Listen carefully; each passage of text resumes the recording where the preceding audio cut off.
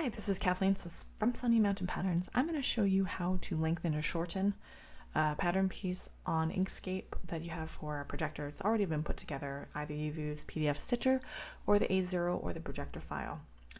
So the easiest way to do it is one, you have to ungroup everything uh, by going to Object, Ungroup by selecting everything. I've already done that. So here's my individual piece. So say I want to lengthen this the easiest way, I'm going to show you the easiest way to do that is to grab the Bezier pen, which is Shift F6. Uh, we're going to do the lower part. So usually this is the simplest part. We're just going to trace around here. Um, notice that this is snapping to these points because I have snap at, uh, enabled, which is upper right hand corner all the way over here. Just click that button. If this is not snapping, okay, so now we have the piece over here. So say you know you need to move it over. You can either just manually like eyeball it, which is hard to do on Inkscape. So you might want to actually make a reasonably, oh good lord, that's too thick, a reasonably sized um, rectangle. This stroke style is much, much too thick. So let's go to one point.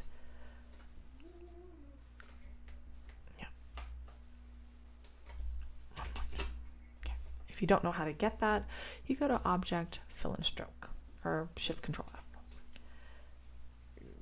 I want to get the arrow back. So say I want to move it over by, oh, I don't want any fill, so lower click left hand fill. Uh,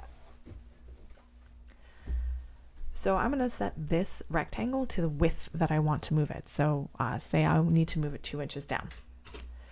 If you don't have this set to inches, you can just change this to inches, millimeters, or centimeters, pixels if you really like to work in pixels.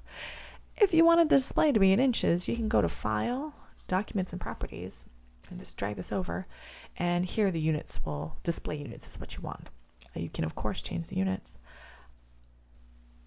I would change your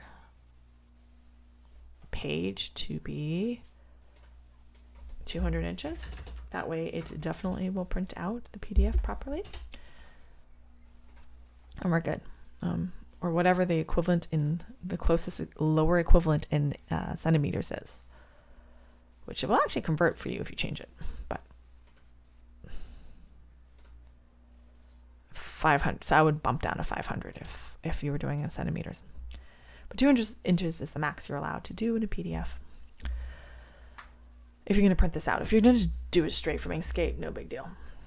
If you're going to, I'm sorry, if you're just going to project straight from Inkscape, no big deal. So I have moved my, I've made a box that's two inches wide. And I'm going to just move this on over.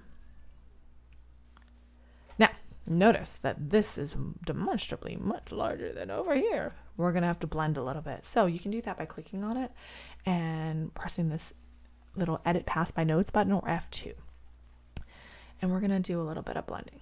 So we need to do probably, I would go straight up to here. Now, this ankle diameter is to be the same ankle diameter here, but you're to have a little bit more gap because you've made it longer. Um, you can, of course, change this angle here, but you're to have a smaller ankle diameter. So you're gonna have to do a little bit of like this is where the art comes in on how much blending you want to do. You definitely don't want to move this over. Uh, you could start off on the length and shorten line. But if you heard somebody, that's my little preschooler. You might want to do a little happy medium, right? So you can leave this as is, just thicken up this lines by going to the um, fill and stroke and bumping that up to like three points if you want, and then just remember to cut around here. Or you can choose to combine these two uh, by clicking both of these. Good lord, if I could just click the right button and then go to path and uh, union. Oh, it's going to tell you one of the objects not a path because it Inkscape imported my actual pattern as an object. So if that's the case, you go to a path and object to path. So you can combine these two and then please work. union. Sometimes it does not like me.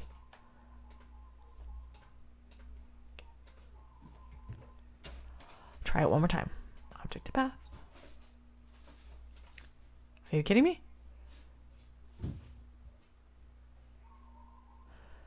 Super does not like me. If it doesn't work, then just just remember to do this outside.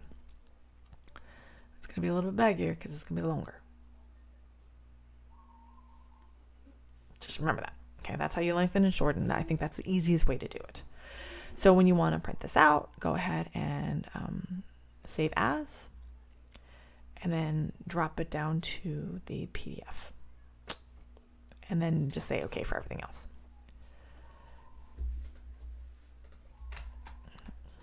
That's how you lengthen and shorten uh, on Inkscape. It's a little bit of an art form because you don't always want this extra bagginess. You just want the extra length. Then you're going to have to do a little bit more blending. Um, yeah, I don't have time for that. So I hope that helps. Okay. Thank you.